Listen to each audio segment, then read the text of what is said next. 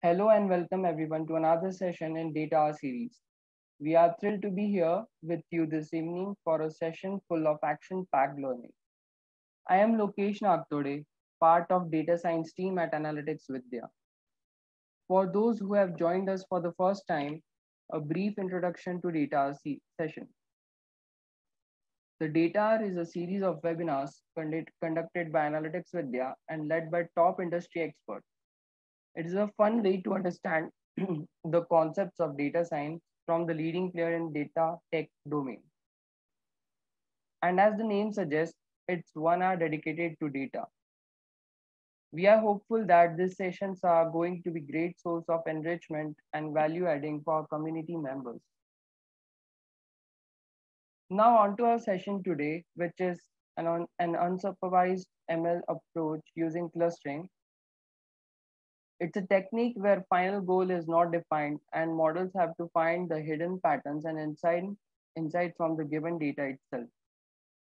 Clustering is an approach of unsupervised learning, which means grouping similar data together.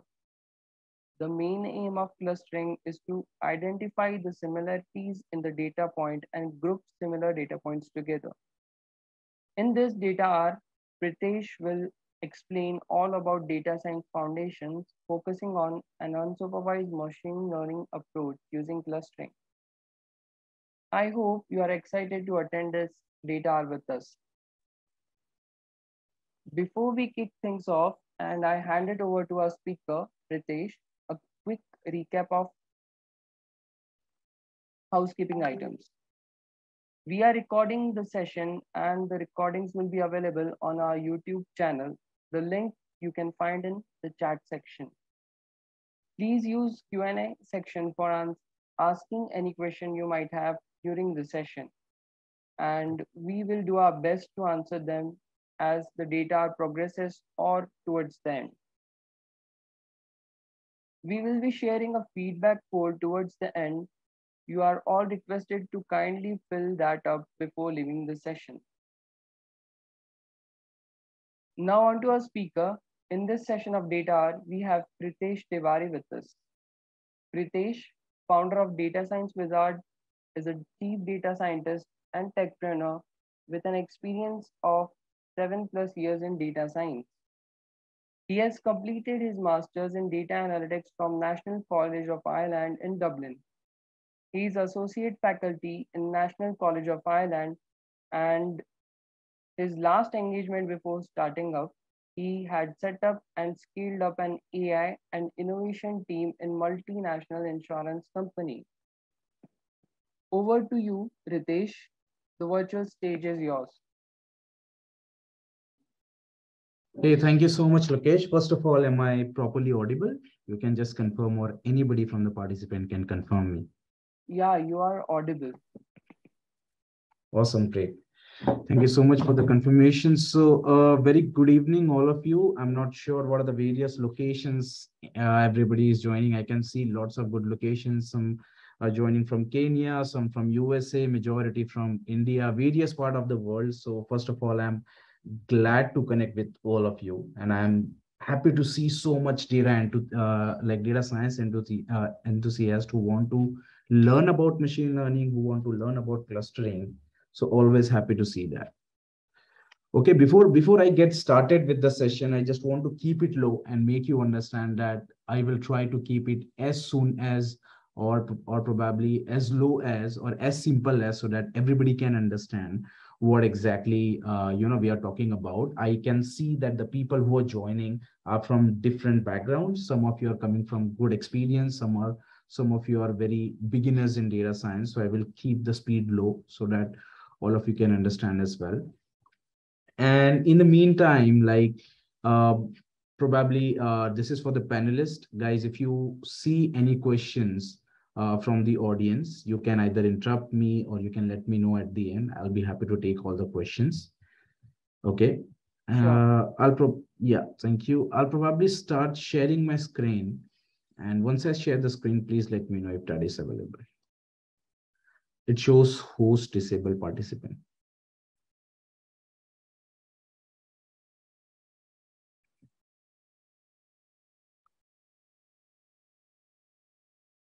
happy to see the like by the time he's enabling, I can see that almost 55% people are joining from Asia, almost 14% from Europe, 13% from America, oh, sorry, Africa, and then close to 20% from America, even from the Australia, good people, good number of people are joining from India as well.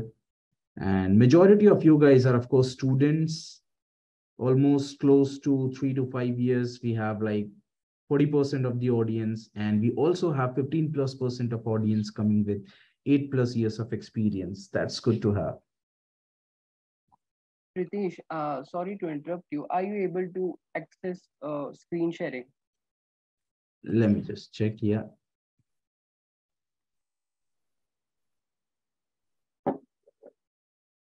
Yep, if you can stop sharing, I, I can start sharing as Okay, well. okay.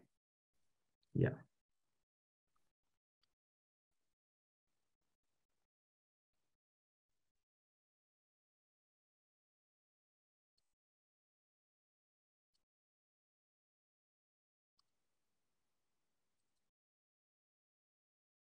Yeah, once you see my screen, can some of you can just confirm if my screen is visible?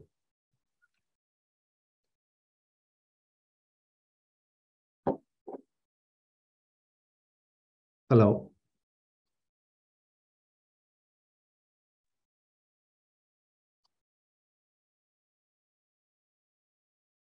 Uh, I'm not sure. Some of you are just seeing the data science screen. Probably, uh, Lokesh, if you can confirm? Uh, yeah, I, I, I am.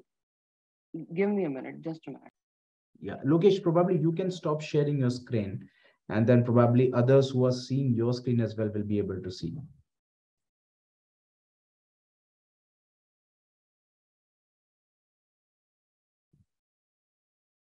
Some of them I can still see they are seeing the data hour series.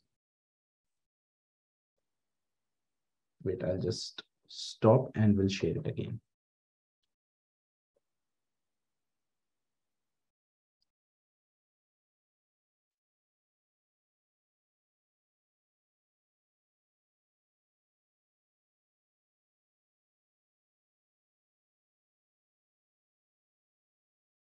Hello, Lokesh. Uh, I am unable to find that uh, stop sharing option.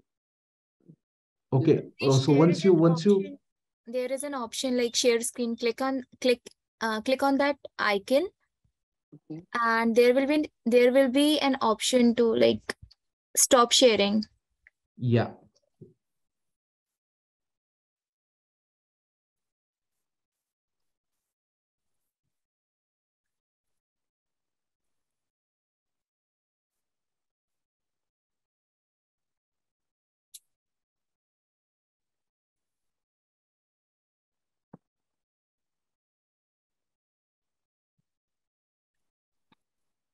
so I, I, I can also see the option to stop your sharing. So I'm Oh, sharing it. Yeah, yeah, yeah. Yeah, Do that. I disabled. Okay. Fine. Now I can share my screen and I hope everybody can see my screen as well. Is it visible, guys? Can someone of you confirm? Yeah, yeah, it's visible. Awesome. Great. Yep. So let's go ahead.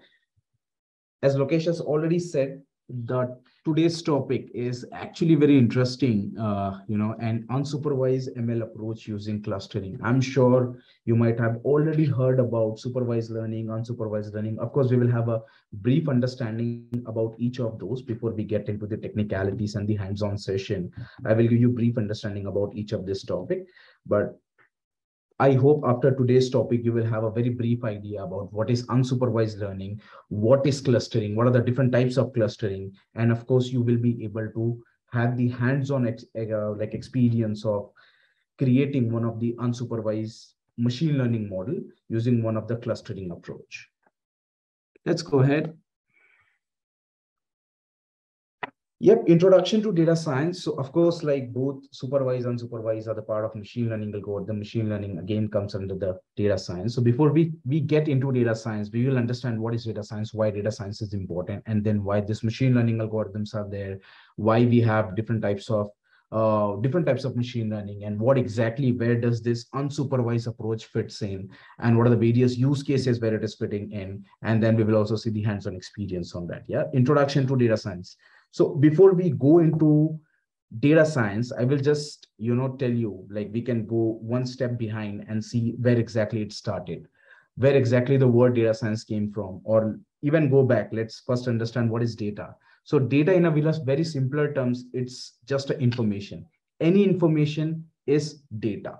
When you collect data together for some meaning work, meaningful work that you are going to do in the future, okay, that is where you store data so that you can utilize it later on. And when you apply certain technologies, certain science, which is your mathematics, your statistics and everything, just to make sure you are getting some inferences out of that data.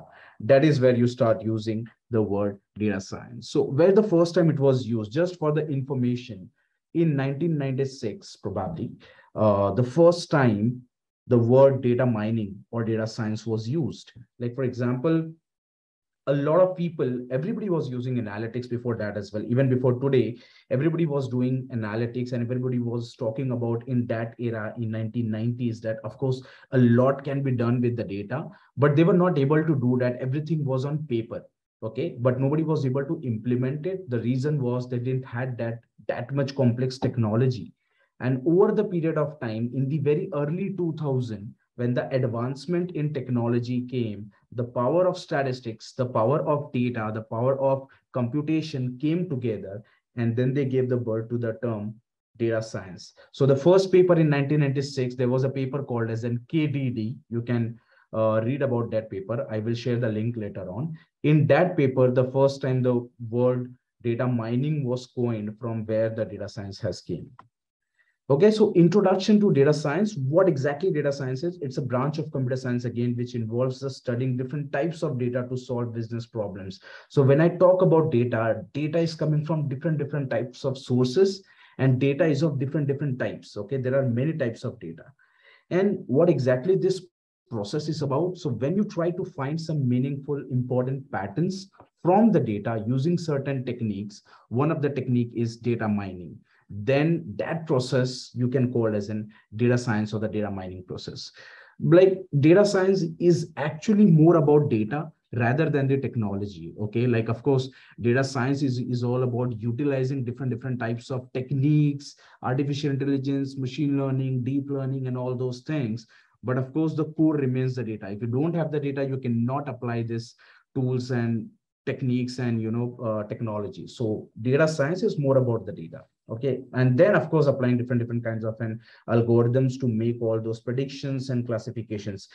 Basically in a very simpler terms it involves the storing of the data and then exploring that data manipulating transformation of that data and at the end analyzing the data using different tools and techniques and of course algorithms technologies to make sure that you are able to find some meaningful pattern out of data Yep. I will give you 10 seconds, just 10 seconds. Just observe what is happening on this image. Okay.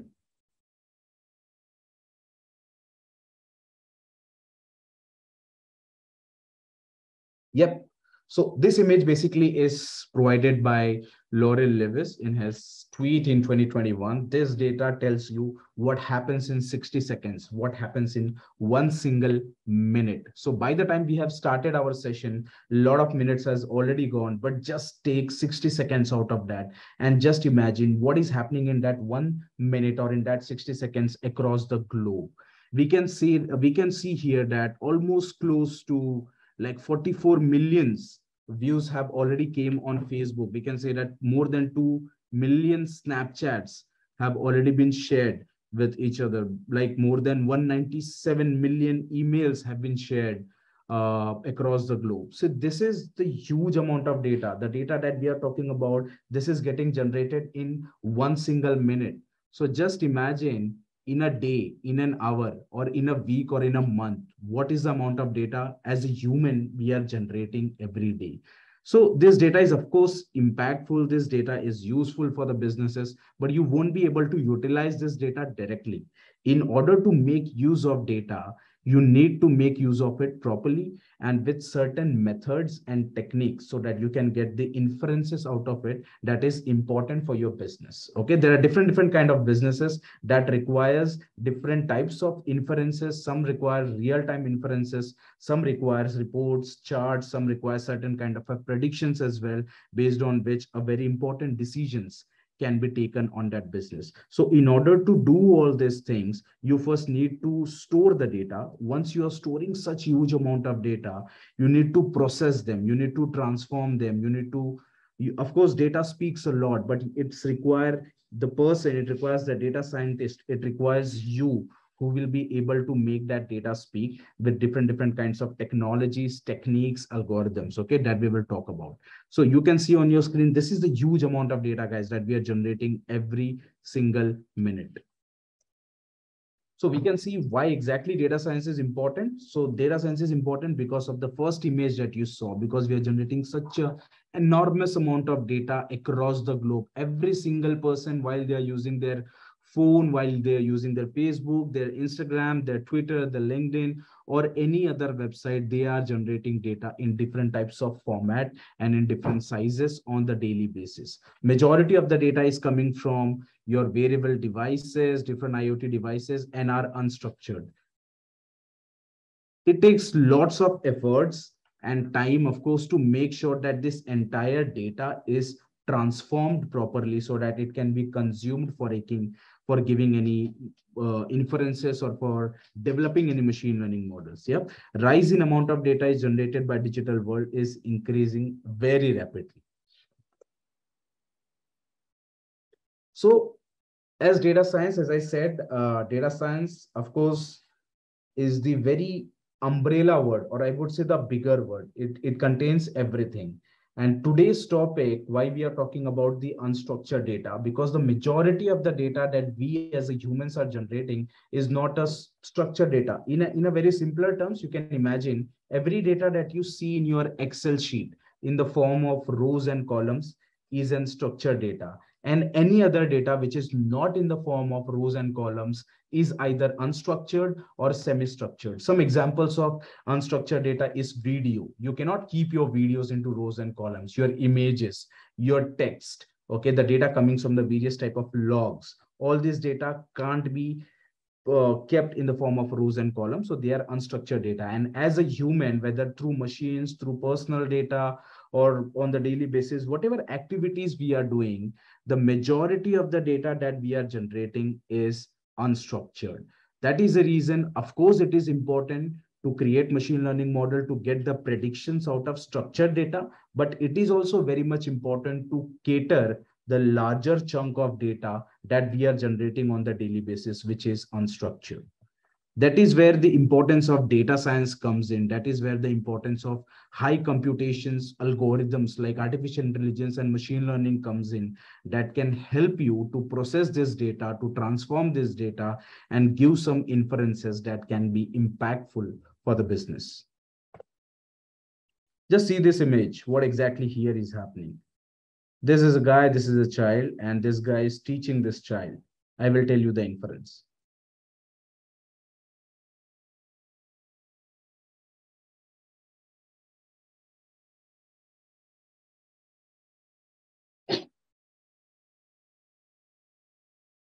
Yep. So the child or the robot guessed it correctly. So what was happening? That the person was telling the robot that, okay, this is a dinosaur. Again, there is another image. It will again, again tell it that, okay, this is also a dinosaur. And then it will go away. Then the robot or this child will see one more image. Okay. And it has no idea what exactly it is all about. But based on the historical uh, information the person has given to that this child or this robot it is able to guess or it is able to predict that it is also a dinosaur. Okay so machine learning is all about prediction based on the historical decisions or the historical data. In a simpler terms machine learning is basically providing the systems the ability to automatically learn and improve with its own experience without explicitly program what does it means it's like you are giving the ability to the systems to the machines that they can learn on their own without you telling them what to learn and how to learn. You just give them the data and they will be able to create their own logic. So if you see here on the traditional programming, what used to happen in traditional programming is you used to have the data, you used to have the program. Program is nothing but uh, collections of rules and logics okay? And then you feed that data that rules and logic to the computer and the computer will give you output. For example let's say that you want to uh, do the multiplication of two number and then you will give the data to the computer that the data is 3 comma 2 and the program is multiplication. Multiplication means do the multiplication of two number so whenever you give this data whenever you give this program to this computer this computer will be able to give you 3 into 2 which is 6 it will be able to give you the output so this is the traditional programming where you give the rules you give the data and label and everything to the computer and computer will give you output. What happens in machine learning, you don't give the rules, you just give the data and you give the output as well. And machine learning algorithm will itself create its own rules and logic to identify if there is a data, if there is a output, why this output has came and how this output has came. It will create its own logic, its own rules so that uh, certain correlations can be set between the data that you have given and between the output that has came out. Okay, so we will also see in detail about the different types of machine learning. First, let me just tell you in a very, uh, just give you the glimpse about what are the various steps in entire machine learning life cycle. I'm sure majority of you might have already heard about software development life cycle. Similarly, there is machine learning development life cycle as well. It starts with business need or domain understanding or the domain knowledge. For example, for any domain, if you're working as a data scientist or data analyst for any domain and you're working on any problem statement, you won't be able to interpret the data unless and until you understand the process of that business, unless and uh, until you understand the domain of that particular business. For example, if you're working for the banking, as a data scientist, you need to understand how banking operate, how the data, how the process in the banking operates so that you will be able to understand the data of the banking and you will be able to provide the inferences accordingly as well. So the first step is understand the business, understand the domain. The second part and the most important part is spending time with your data. Spend good amount of time with your data, understand the data and understand the problem statement that I am solving do I have the relevant data for that or not? Because now you are a data scientist. Now you are inside an organization, for example, inside a bank, and you are solving a particular problem statement. Now, in this second step, in the data exploration step, you need to identify do you have all sets of data which is required to solve this particular problem? If yes, that is great. Go to step three. If no, then you need to identify how basically you are going to get all those data okay? Creating the data pipeline cleaning the data exploring the data transforming the data to make sure that you can feed it to the machine learning models. Third step is of course developing the machine learning model uh, like creating the machine learning model. And your fourth step is basically third and fourth is a combination of both like developing and training your machine learning model. The third step is basically you're making your uh, data ready so that machine learning models can be trained. Fourth step is actually training your machine learning model based on the data that you have got. Fifth step is of course once you have trained the model you need to check how well the model has been trained and you will test the model with different different kind of an evaluation metric like if you're working for regression, there are many regression evaluation metric. When you're working for uh, classification technique, there are many classification techniques as well. Okay.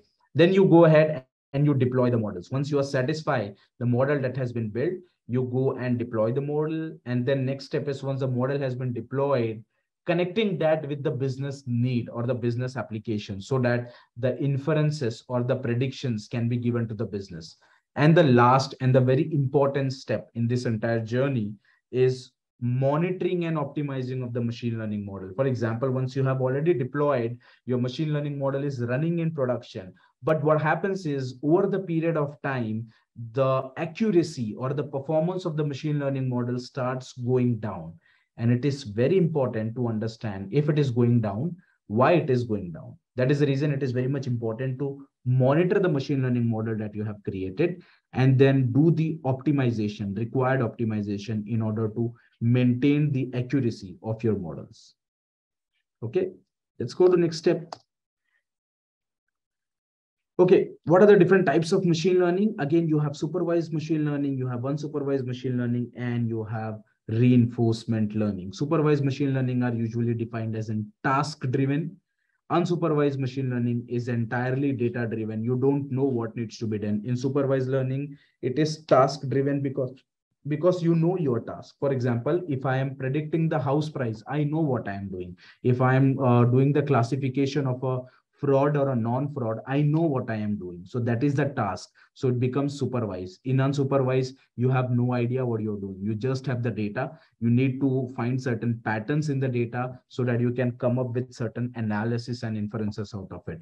Last is reinforcements. Reinforcement learning is based on the reward and punishment mechanism it is it is learning from its own mistakes okay so we will three all uh, we uh, like we will see all three types so the first one is supervised learning. What happens in supervised learning? Remember, as I said, supervised learning, you know what exactly problem statement you're solving. You have your data, first of all, you have your required data as well, that uh, the problem statement that you're solving for, and you have the information about the data as well. Like you have the labels. Like, for example, if you are predicting apples over here, you have the input data, which is apple which is red in color and there is a green leaf.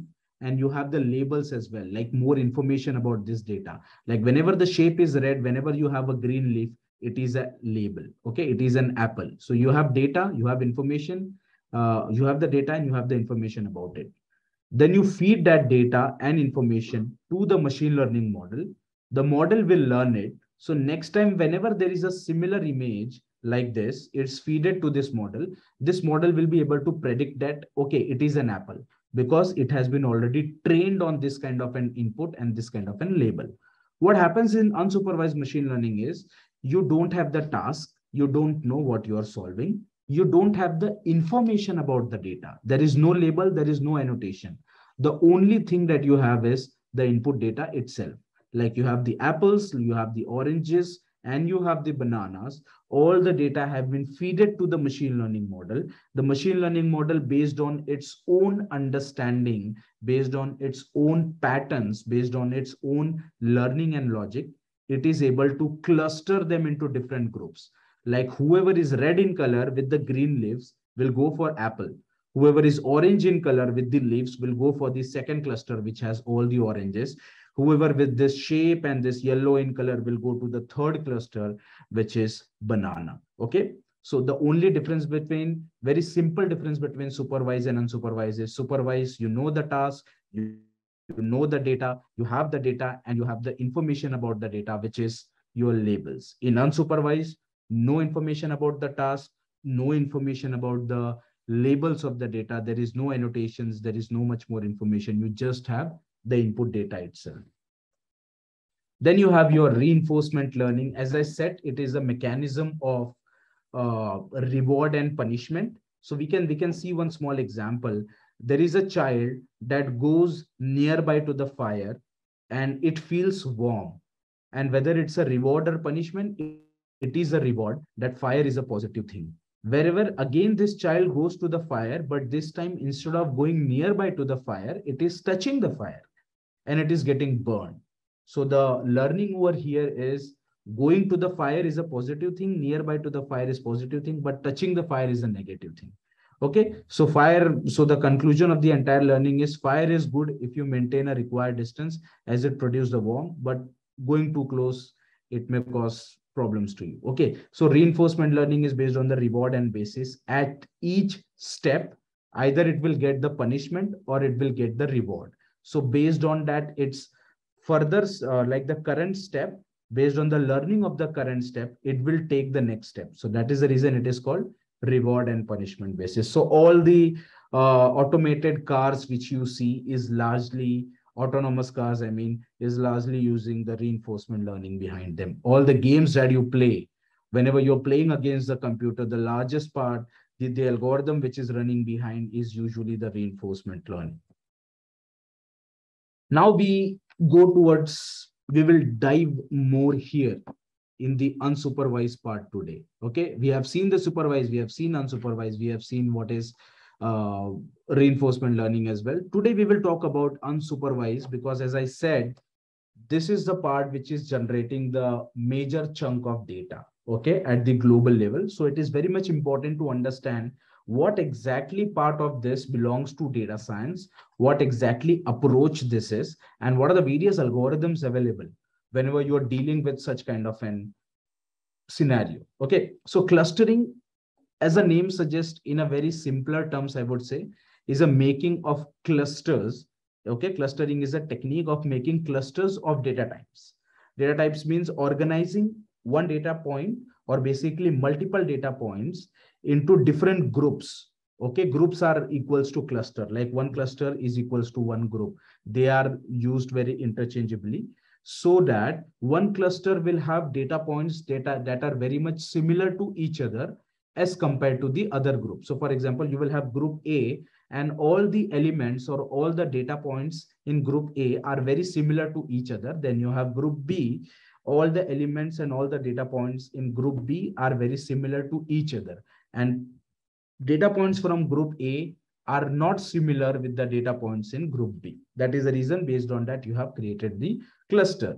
So applications, there are many applications on this. Okay. For example, in the retail industry, customers are segregated into different groups. Okay. Based on their demographic information, based on their spending habits, based on their requirement, based on their behavior analytics to fulfill various demands and you know giving the exciting offers. Like for example in any retail industry they have the customer base from different age group from different location from different spending habits. Some of them might be spending every 3 months some of them might be spending every 3 days as well right? Depending upon the spending habit. So all these customers are basically segregated in different groups and based on the each of the group Uh, these certain decisions has been taken either to send them some email to buy something or something like that. So this kind of decision are taken based on the groupings. So what are the various types of clustering? Okay so there are of course different different types of clustering but if we segregate them into you know two top overview clustering there comes two. One is hard clustering one of them is soft clustering hard clustering is basically assigning a data point to one of the cluster where it belongs so that the cluster can become it's either it is is or or like either it will be a fraud or a non-fraud. Either it is female or male either it is cat or dog. There cannot be any mixture of both okay? The data point cannot be present or cannot have the resemblance with another cluster. It is very hard clustering. That one data point belonging to one cluster they will always belong to that cluster itself. Okay? Whereas soft clustering uh, uh, uh, like uh, k-means which we are going to see today k-means clustering is an example of hard clustering. Soft clustering on the contrary is like it is not that much hard. Like uh, like for example one data point belonging to one cluster can also belong into another cluster as well here if you see this is one cluster. It has all its data point. Another cluster, all its data point. Third cluster, all its data point. There is no overlapping. But in soft clustering, there is an overlapping. And uh, one example you can take of soft clustering, uh, maybe fuzzy, fuzzy clustering or the or the fuzzy logic. Like for example, what happens in fuzzy logic is basically one data point is very much similar to another data point. For example, you can you can say uh, my name Pritesh, P R I T E S H or P R double E T E S H. This comes under the fuzzy logic where the meaning is still the same, but the pronunciation is different. So my, the name I, the letter I in my name can be belonging somewhere here. So this is also Pritesh. This is also Pritesh, but E, E or I is basically uh, the fuzzy logic, basically the fuzzy component that is making the difference. Okay. So yeah, different types of clustering. As I say, this is the overview. If we go more deep, what are the exact types of models? Here we are talking about the types of clustering, hard clustering, soft clustering. Here we are talking about the exact models. So what are the different models which is used for clustering? Okay. So there are certain models which is based on the distance between the data points in the data space. And whenever there is a low distance between the data point, they represent how similar they are. So just imagine uh, whenever there is a distance between data point A and data point 2, and whenever there is a low distance between them, it means that both are almost same. So this kind of model are always called as an connectivity models. Then you have a distribution model.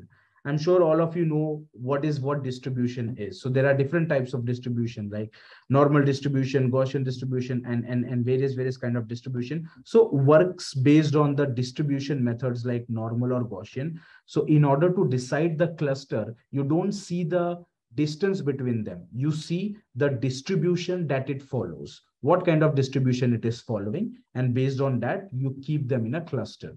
The third one is centroid based models, which is the very famous model in clustering and that we are also going to see today, work on an iterative model and find similarities between the data point based on the distance of data uh, and from and basically from the centroid of the clusters. Basically what it does is it creates different clusters and to each cluster it is giving one middle point. That middle point is called as a centroid. Now it is checking the distance of each data point with that centroid and it is allocating the data point to that particular cluster. Okay, so we will we will get it more clear once we get in deeper into it. So this is called centroid based models. Then you have density based models where it is, I would say, a little bit closer to centroid model, but how it works is like uh, it is more working on the density variation in the data sense. Like, for example, what does the density means? It's like how close the data points are. And when you check the variation between those density, you are able to see how, what, what, what exactly the density variation is there inside that data that you have plotted and they either isolate the density regions and assign data points to those regions. Like for example, it will uh, isolate certain highly density area, low density area, or low density data points, high density data points, and it will be able to create the clusters based on them. So they are very rarely used, but they are used as well, usually in the logs where there are any, when they want to detect any anomaly detection, it is used very highly. Now domains where exactly these clusters are getting used so everywhere, I would say different, different domain, different, different industries, everybody in today's time is using clustering in some or the other way. Or for example, I would say clustering or the unsupervised learning is the first step of supervised. When you don't know what exactly you want to do, but you have a lot of data, you start with unsupervised, you create the clustering, you see the patterns on the data, and based on the patterns of the data, you will be able to come up with certain uh, you know, use cases. And once you have the use cases, that means now you have the task. Once you have the task, you can create the labels as well using clustering. And now you have the task, you have the label. Now you can go for the supervised approach and create supervised machine learning algorithms. Okay. So different, different algorithms uh, are, are useful and but but the technique remains the same which is for unsupervised which is the clustering. And it is used in different domains. The first one is retail marketing. Often clustering is performed to identify the group of product and the customer that are similar to each other. Like for example uh, like if if there is a company like for example take name of amazon take name of ebay flipkart they have thousands and thousands of products they want to group those product into different clusters and again group different customers who have the possibility of of uh, buying one of the product in that group right? So they basically create those clusters. So that is again the example of in in retail uh, streaming services to find out the customer's content consumption behavior and clustering movies by nature now if you open i'm not sure how many of you are using netflix but it, it is a very classic example where I can give you about streaming services. The Netflix screen, when I open, or when you open, or when someone else open, it is going to be different. It is not going to be the exactly same. Why it is happening? It is happening based on the consumption behavior the based on the content that i see is different as compared to the content that you are seeing in today's time okay? And so all this consumption behavior behavioral analytics all this uh, what i say patterns in the customers are being grouped together and based on that uh, the customer clusters are created and the contents are shows. Basically the recommendation engines are running based on the clusters which have been created okay one movie suggesting or one show suggesting to this cluster another show will suggest another movie or you know show to the another cluster.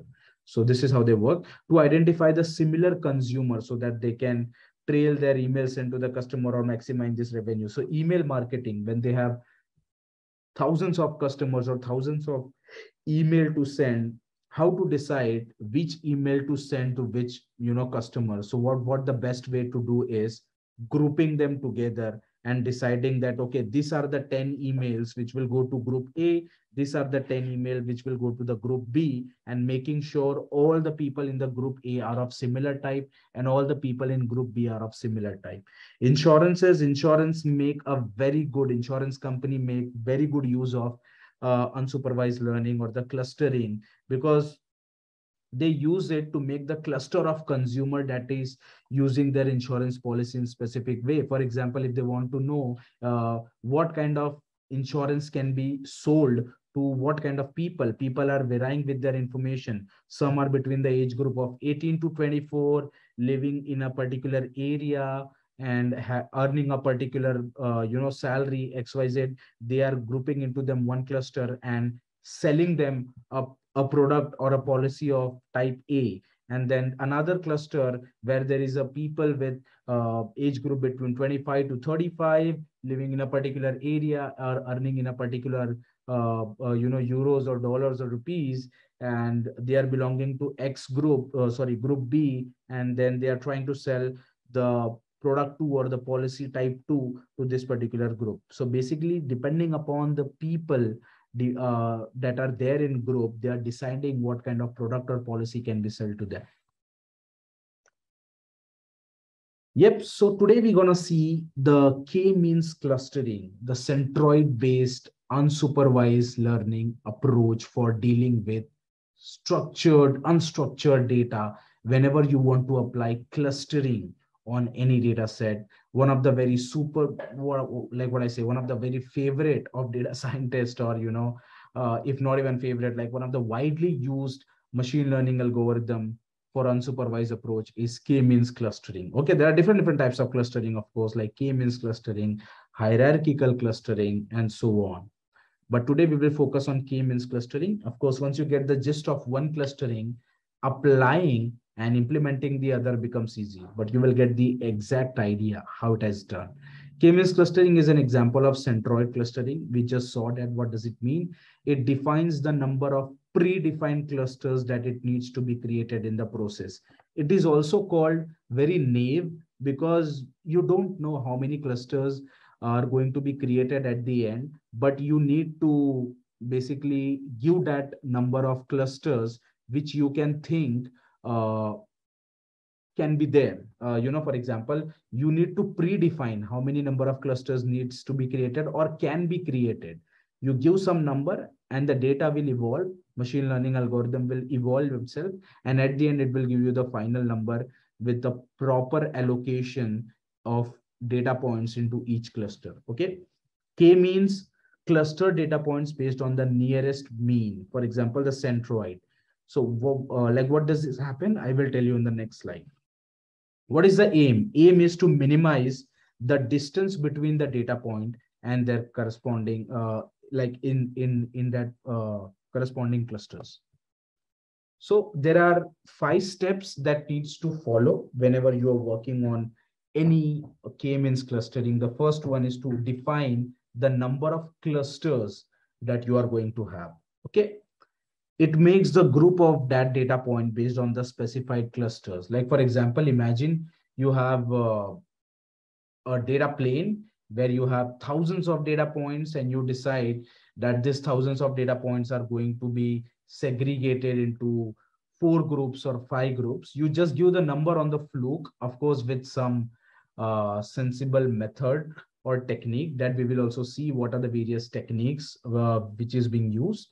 Uh, so you decide the number of clusters, that is the first step, and then it makes a group of those data point. Like for example, as soon as you have decided the number of clusters, the entire data points which is available on the plane will be allocated to certain groups. For example, out of that thousand, maybe uh, 200 belongs to one group, 350 belongs to group two, another 300 group uh, data points belong to group C, and then 50 belongs to group four, and maybe the remaining 100 or 150 belongs to group five, something like that. So once you define the number of clusters, it will allocate the data points to it. The third step is the algorithm computes the cluster centroid. Now, this is very interesting. What it does is it computes the uh, cluster centroid. It decides that you have created five groups. What is the centroid or the center value? The center value of that group becomes the centroid. Okay. And then it reassigns the data points to the closest centroid. You imagine there are five clusters now. Each cluster has a centroid, which is a center point, and all these data points are basically uh, reassigned to each cluster or each group based on the distance between uh, their centroid. Okay.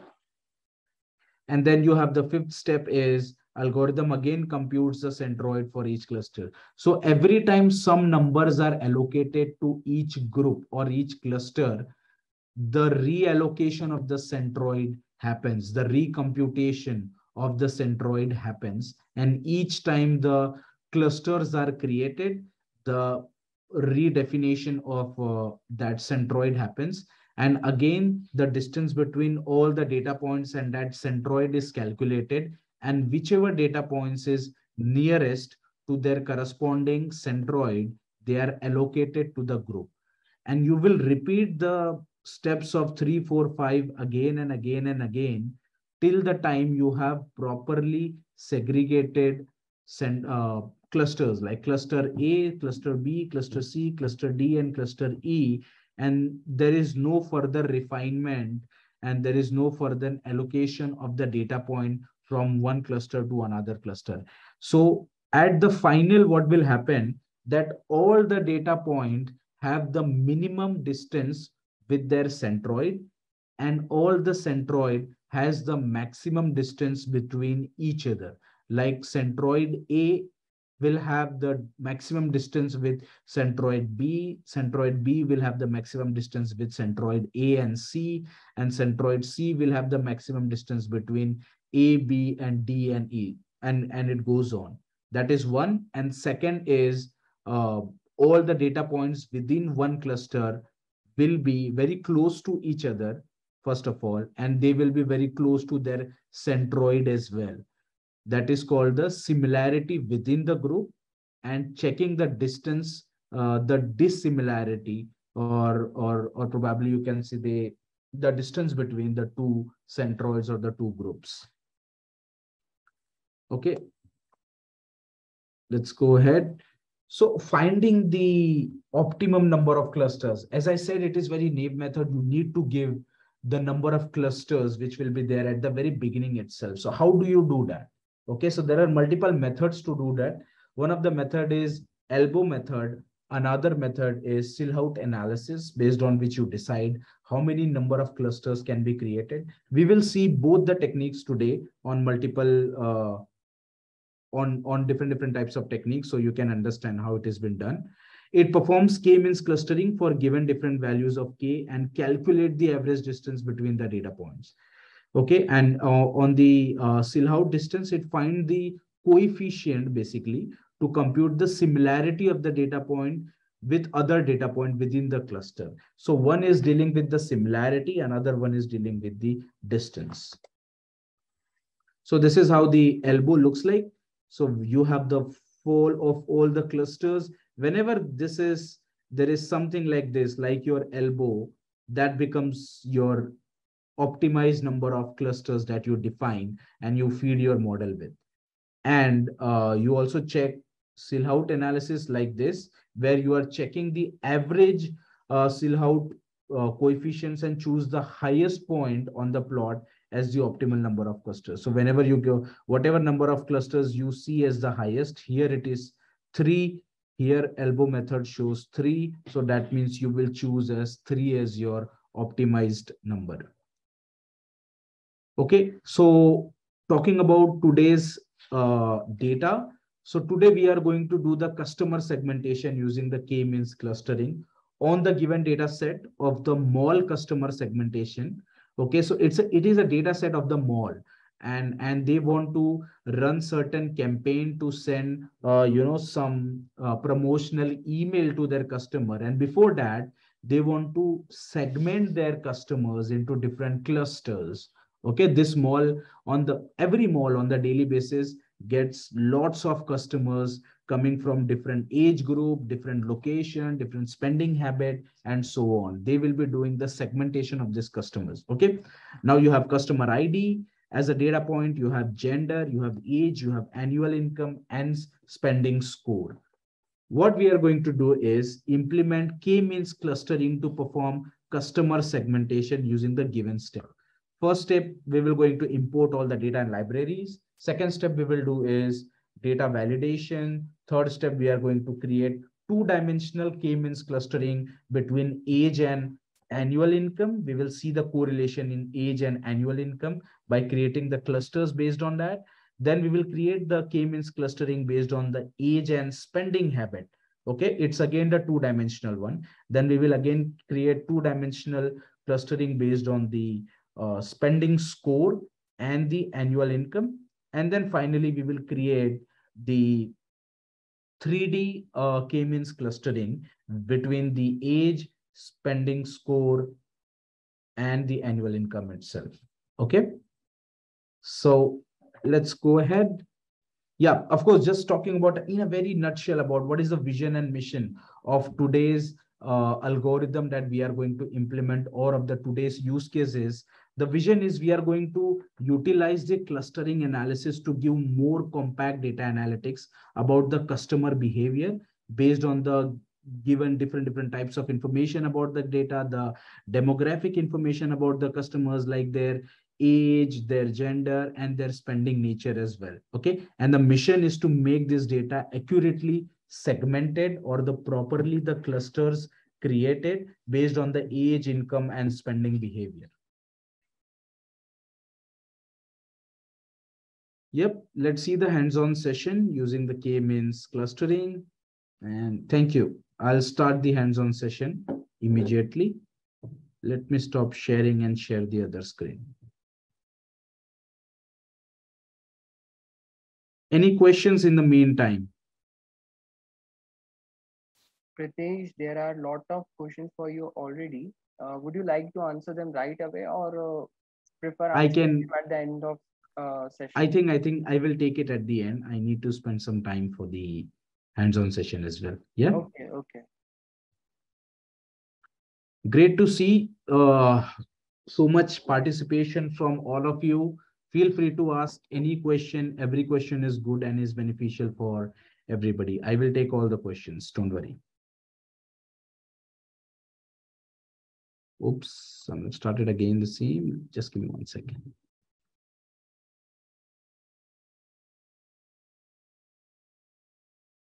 Yeah, so today's session, hands-on session, uh, I am going to take on Colab. I'm sure majority of you might be knowing about Google Colab. If you don't know, don't worry. I will just tell you what exactly it's about. So Google Colab is a runtime environment provided by the Google where you can utilize the computational power of Google itself. First of all, just confirm me if you can see my screen, guys. Anybody in the chat or probably someone from the panelists? Yeah, you're awesome. Visible, yeah. Okay, that's great. So let's go ahead. Uh, so as I said, today we are going to see the different different types of clustering. We will see two-dimensional clustering as well. We will also see the three-dimensional clustering and this uh, data set and the code will be available to you guys. I'm not sure, Lokesh, how you guys going to share the uh, code and the data with uh, like with the audience, I can share it with you. Uh, we will mail them. Okay, I will email you the data set and I will also email you the code. You can share it with all the participants. Yeah. Okay, or we can provide in uh, YouTube uh, section. Yeah, you can provide them. Yeah, inside the YouTube section, you can Yeah. write or give the link to them about the data and the Yeah. uh, code as well. Yeah.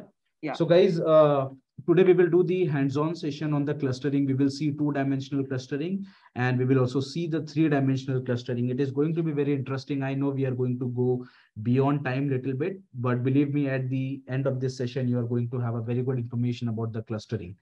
So as we know, we are talking about different types of clustering. We are talking about two, but today we are going to talk about k-means clustering. Okay. And for that, let's make sure that we have all the libraries available. I am pre-assuming that you have some knowledge of Python before attending this session. So I will skip, I won't go into very minute or each uh, line by line information of the code. But if you have any questions, don't feel uh, like, please feel free to ask me and don't shy away or don't feel that, okay, it is not answerable or something like that. I'll be able to answer you. So before we go ahead, the first thing we will do here is we will make sure we have all our libraries enabled. We will import all the libraries. We are, we are talking about pandas, numpy, matplotlib, seaborn. So you can see that I'm making use of both matplotlib and seaborn and plotly as well. Because sometimes I use two dimensional, sometimes I make use of three dimensional. So I usually prefer creating different types of plots using different libraries that gives me more flexibility. So you guys can also do that. I'm going to use scikit-learn, basically the sklearn uh, for creating this machine learning algorithm. And again, for importing the metrics from the sklearn itself. The data is about the mall, mall customer data. You're going to get it. First, you check the head. What does the head means? It gives you the information about the top five rows in your data. Okay.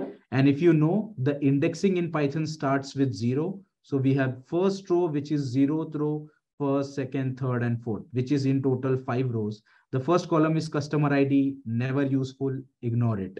The second uh, column is the gender, which is male or female. The third column is very important, the age group. And the, we will see in the summary section what is the various age groups that we have. We will also see the different annual income of the people. I have kept it uh, kept it in the dollar because I know the people are joining from the different region. So for everybody keeping the dollar as an uh, standard. So annual income in the standard, it may be 15, it may be 16, it may be 35. Some might be having the annual income as in 100K as well.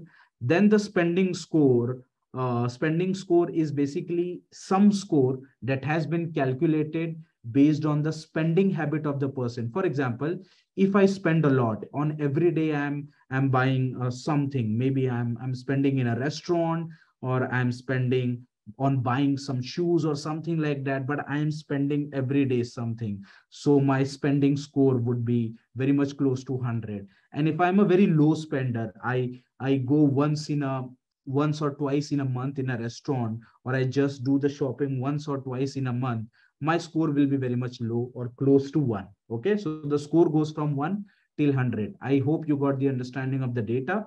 One, two, three, four, five columns. Each columns, like uh, some of them are gender, age, annual income, and spending score. Okay, now talking about the first thing as a data scientist you do okay or as a data analyst or as a data enthusiast person is to spend some time with uh, with the data. I have listed some of the techniques. This is not all the techniques. There are many techniques to know your data but i have listed some standard techniques for you to know. What are the various uh, steps to do? The first step is to check whether you have any null values. Null value means the data is blank. There is an na or you don't know what the value for that particular section. For example, if there is no data here, you know that the, the customer ID is four, she is a female, but you don't know what is what is her annual income, but you know the spending habit is 77. Okay. So whenever there is a NA, whenever there is a blank, that becomes your null data. So the first step is to check how many null data you have. I have used the is.na function and I am applying sum on that just to check how many NAs I am having. As you can see, I have zero NA in all my columns. There is no NA. Then I'm describing the data using data.describe. This is very useful function that helps you to get the description of your data. So you can see, as I say, ignore the customer ID, ignore the customer ID. But one important thing here to see is we have total 200 rows of data. The total maximum count goes till 200. Okay, this shows you the count. Now age, this shows the describe shows all the statistical importance of that particular column. We can see the minimum age in the above data is 18. The maximum age in the above data is 70. The we can also see the mean or the uh, the what I say the middle age somewhere is around 36. The minimum income in our data set is somewhere around 15 15k uh, dollar. The maximum income is going three till 137 k dollar and the medium range is somewhere around 61k Similarly, the spending habit for some people, the spending habit is 99. That means if they are earning 100K dollar, they are spending 99K dollar out of that every year. And they are just having the saving of 1%. And for some people, the, sp uh, the spending score is one. Like if they are earning 100K, they are just spending 1K. Very lucky people, I don't know who they are, but yeah, good to have them in our data. Now we will check the distribution of the variables. Okay, so for us, the important variable is age, annual income, and the spending score. I have plotted the distribution of them with the help of this tree, like the age, the annual income, and the spending score. I'm using Plotly to plot this. And I'm checking the data distribution of age, data distribution of annual income and data distribution of spending habit. You can see that this is very uh, properly distributed. It is giving you somewhere the, the mean or I would say the middle of your distribution is somewhere here around 34, 35, something like that. Let's check what is the mean, like middle one for your age is 36. Yep. So we are having somewhere here 36. Similarly for distribution, it shows that the mm, like the medium annual income for this entire data set is somewhere around uh, 60 or 65 somewhere here and the for score as well the the middle spending habit is somewhere around 50 okay now we will immediately start with clustering okay now we are working on the k-means clustering based on the age and annual income okay two variables age and annual income. We will create the clusters based on that, two-dimensional clustering. And first of all, let's see the scatter plot between the age and the annual income. So this is on the y-axis, you have your annual income. On the x-axis, you have age. And you can see that the data is very densely populated or it is it is not giving you any direction, whether it is giving going up, whether it is going down, nothing. Scatter plot usually shows like when the age goes up, the annual income goes down, something like that, but it is very proper. But it is based on, if you see, I have kept the size as an age. So age is a factor over here. The smaller the circle, the smaller the age. Here, if you see, the age is 18, annual income is 48. Interestingly, when the age increases, then also the annual, uh, annual income is decreasing. Like you can see the age is 67, but the annual income is 19. If you see somewhere between 30s and 40s, when the age is close to 32, the annual income is the highest, which is 137. As you grow old, your income also is going down. This is what this data is suggesting, not actually the case in reality. Okay. Then, as I said, the first step is to decide the number of clusters. And in order to define how many number of clusters you are going to have, we talked about two method. If you remember, we talked here about two methods, the elbow method and the Silhouette analysis. We will see both of them. The first one is elbow method. You are defining the range and you are iterating with the for loop that the total number of clusters that you are going to have. It will depends upon the number of clusters that you are going to define and what elbow method is going to show me. So elbow method is, if you see over here, it should be like this, like the curve which is having. So the curve is coming somewhere here four or five somewhere here. Let's consider it as a four as per the elbow method, but not very much clear. So let's do one thing. Let's also plot the Silhouette analysis like this one. Here, if you see the the maximum number which shows that shows the best uh, number of clusters or the that that is the number of clusters we can consider. So this is the code for the Silhouette score and it is showing me the four.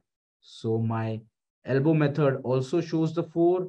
My Silhouette analysis also shows the maximum number as four. Now we are sure that for creating the cluster or, or the k-means clustering between age and annual income, I'm going to create, I'm going to take the initial number of clusters is four. So now I am creating my k-means algorithm with my number of clusters as four and my random state, I'm keeping it at zero right now, and I'm plotting that figure. So once I run this, you get this. You can see that four clusters have been created. Cluster one that belongs to orange shade almost between 1.5 to 2.5. So it shows you the three, every data points when you hover, it shows you three information. One is age, where exactly its age belongs to, which is already there on the x-axis. The second is annual income, which is on your y-axis. The third is color, like which cluster it belongs to. So it belongs to the color zero or the first cluster, which is somewhere here. This belongs to cluster two, this belongs to cluster three, and this data belongs to cluster four. Now you have properly defined four clusters and each data point in each cluster are very much similar to each other. For example, if you see this age group 30, annual income 137 belonging to blue group. Even if you see this very much close to 30, which is 35, annual income very much close to 137, which is 120 over here. That is the reason they are close. But if you see this one, this is very much away from this. The age is somewhere over here is 39, the annual income is 69, and it is belonging to group this. So all of these data points are properly scattered into different segment, uh, segmentation or the clusters. Now let's see another one, which is between age and spending score. We are doing the same method, first plotting the uh, elbow method, and we are seeing here either four or five. If you see there is some confusion, let's decide with the help of Silhouette analysis. What Silhouette says, Silhouette says four. Okay, let's go ahead with the four then. And once you decide the number of four number of clusters, again, I'm plotting, but this time I'm picking up age and I'm picking up spending score and giving it with the help of age. Now, again, it's a two dimensional plot that creates the first cluster of blue, second cluster of orange, third cluster of yellow, fourth cluster of violet, and each cluster will have their own data points. I'm going ahead and checking the another cluster, which is the annual income versus spending score. Again, it's a two-dimensional clustering. And this time as well, I'm using first elbow method to decide, okay, how many, how many uh, clusters should I give? Probably I will give either four or five, but I believe it should be, let's say five. And let's see which Silhouette analysis, what it mm-hmm. shares. Yeah, it is also saying five. Okay, so I have used my number of clusters as five, random state zero, I have given annual income versus spending score. So five groups have been created properly. All these data points belongs to one group. All these data points belongs to one group, this group, this group, and again this group. Okay. Now k-means clustering based on the age, annual income, and spending score. Now there is a twist. We have we are checking it based on three different what I say variables. Okay, and it is going to be a three-dimensional one. So again, I'm going to check how many number of clusters should I have. So here it is going like this, probably, probably four, or no, not four, either five or six. Let's see with Silhouette. Silhouette says six. Yep. Like this, the turning point is here, six. Let's say six. And when we feed it to the machine learning algorithm as a six, random state zero, on the x-axis X on the y-axis, you have spending score on, on the z-axis. The third axis is basically your annual income and you're deciding it size with the age of, uh, with the help of age. Now I'm just zooming it out for your information. Let's go, let's see here. If you see, this is your Y, if you see this is your X and this is your Z plane. So this one is having the age of 60 uh, spending score between one to like uh, like somewhere around four. There is no spending score like it is very much low. Annual income is 30 color is five. So all this yellow belongs to one group. All this violet are basically the high end or the person who are people who are earning high. You can see on the annual income is very high on the x-axis they belongs to somewhere. Their spending score is also not very much or, or their spending score is also very much high. Like somewhere here we can see the spending score maybe 26 or maybe 88 as well and they belong to one cluster. So this is this kind of plot usually help you to see or uh, see the data into multi-dimensional or to three-dimensional seeing multiple dimensions together instead of relying on two-dimensional thing again uh, like i'm just checking the head. So i hope you got the gist and this was just to show you how exactly the clusters are being created. That's it for today. I hope that was the that gave you the understanding of how the clusters are being created using the k-means algorithm. The code will be provided to you. You can run it on your own. The data would be there. And of course uh, the deck would be also there for your consumption so you can have a look okay. yep now i'm open to the questions thank you a very powerful session indeed uh, you can share the net notebook in chat section yeah. Pritesh, yeah. Uh, yeah. And uh, before we proceed to ans uh, answer questions, I would like to request the attendees to please fill, fill in the poll about feedback as it helps us to conduct more such sessions. Uh, over to you.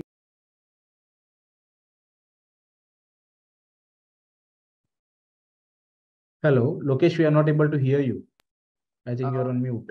Am I audible? Now, yeah, now you're audible. Okay, okay.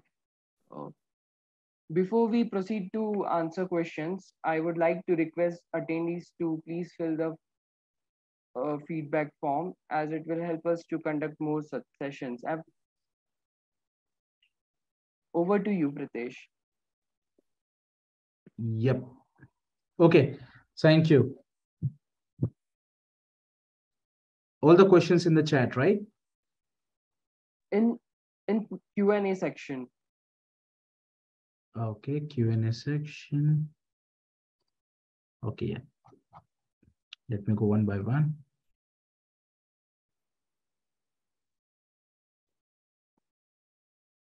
I'll start with the first. What is adjusting weights? Okay, adjusting weights means like every machine learning algorithm uh, when I say that they are trying to, just one second, probably I can share the screen image. Yeah, adjusting weights.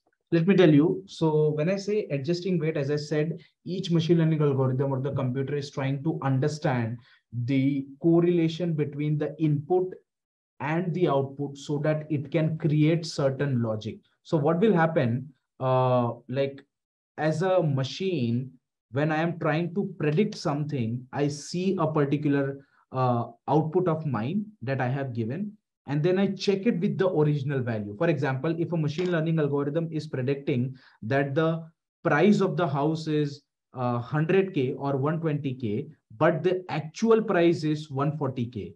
So when it is comparing it with the actual price, it will go back to again to its rules and logics it will fix its rules and logic so that it can prediction can come closer to 140 so when you are adjusting those rules and logic as a part of machine learning algorithm you are adjusting the weights. Second is you help speak clarify data mining cluster data cluster analysis from data. Thank you doctor. Uh data cluster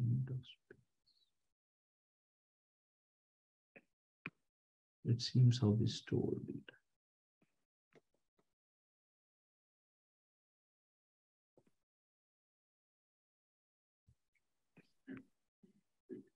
Just a second, I'm working on the second question, which is very big. Let me read it properly. Okay. I'll, I'll, I'll read the question for everybody's understanding. May you help speak and clarify the data mining by David? Uh, cluster analysis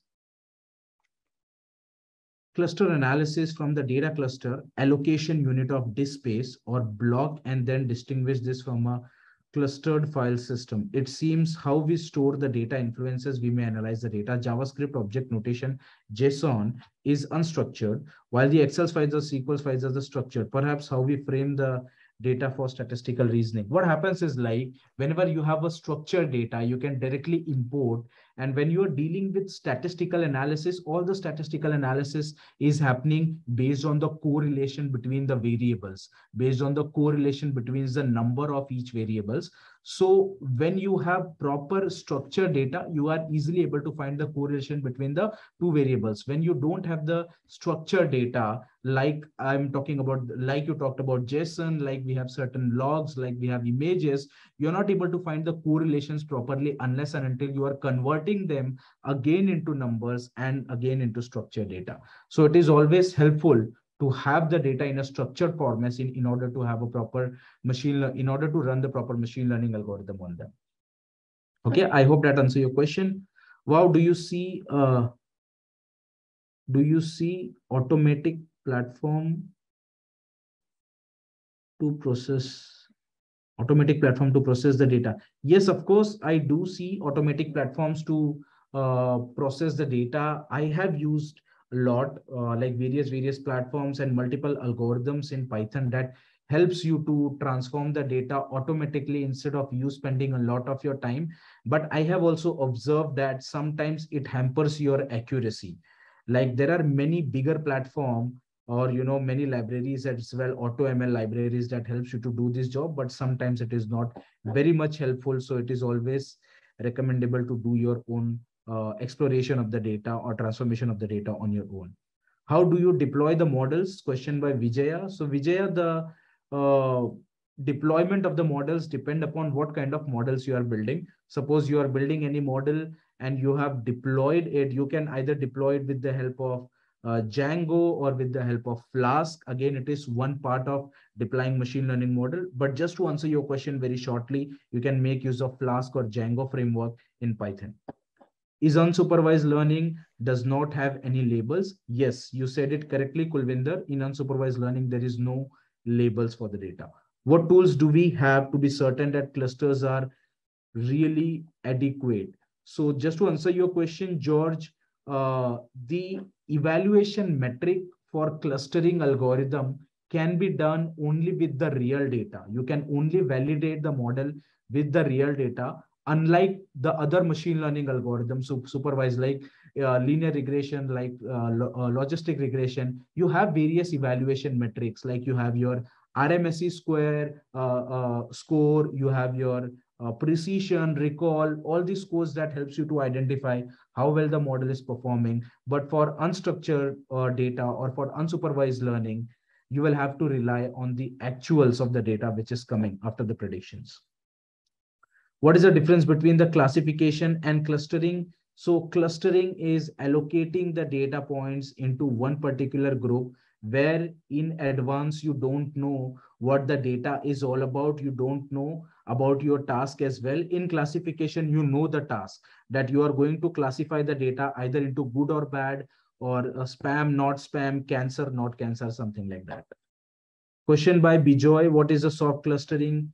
used in industry yes of course i have used soft clustering i gave you the same example as well uh, like i was using it one of the sentiment analysis of the words where the where there were names of the people and i want to identify those keywords and segregate them into different clusters for example uh, a very common name john j-o-h-n can also be written as j-o-n john and can also be written as j-o-h-n so when you do try to do the hard clustering JOHN will go to one group, JON will go to one group. So there are two groups which is created. When you but when you use soft clustering with the help of phonetics or with the help of fuzzy logic, JOHN and JON can belong to one single group.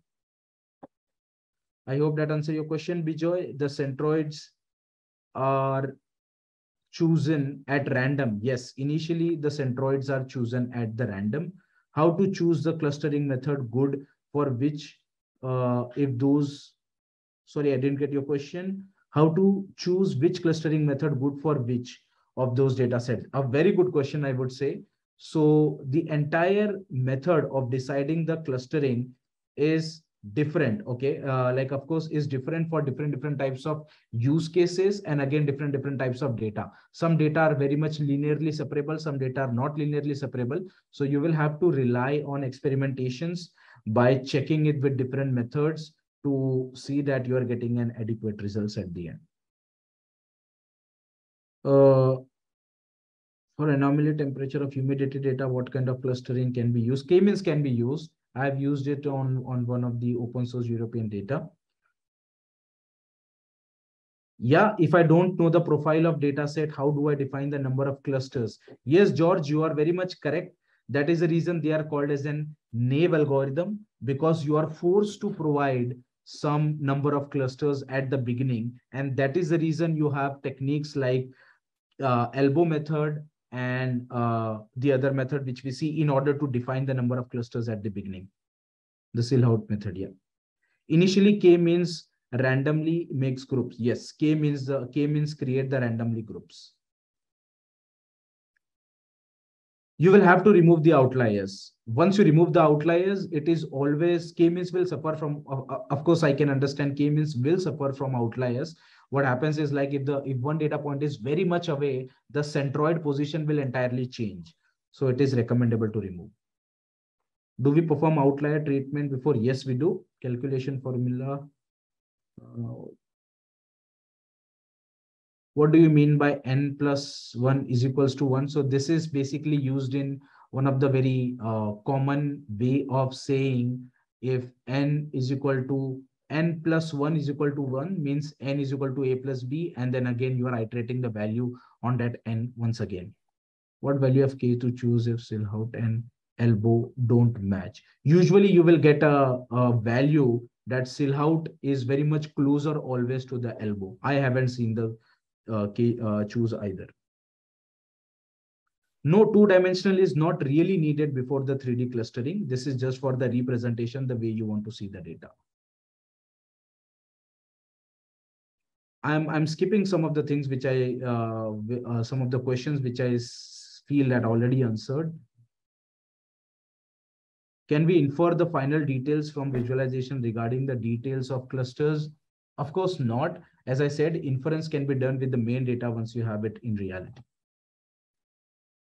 Pritesh, uh, I'm afraid that we may not be able to answer all the questions as we are already half hour beyond beyond our schedule.